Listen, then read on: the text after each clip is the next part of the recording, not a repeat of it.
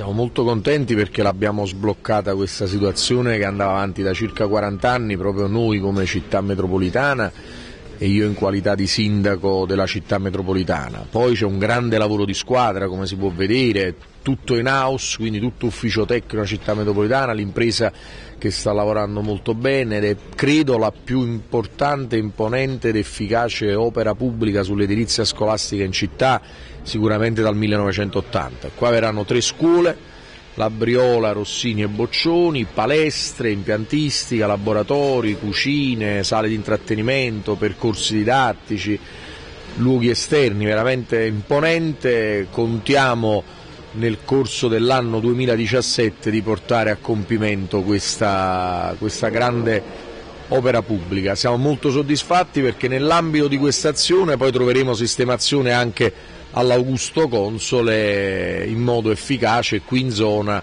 in modo da chiudere tutte le problematiche che riguardavano questi plessi scolastici. Siamo davvero molto molto soddisfatti. Grande lavoro di squadra, volontà istituzionale, volontà politica e un segnale fortissimo per le scuole della decima municipalità e della nostra città.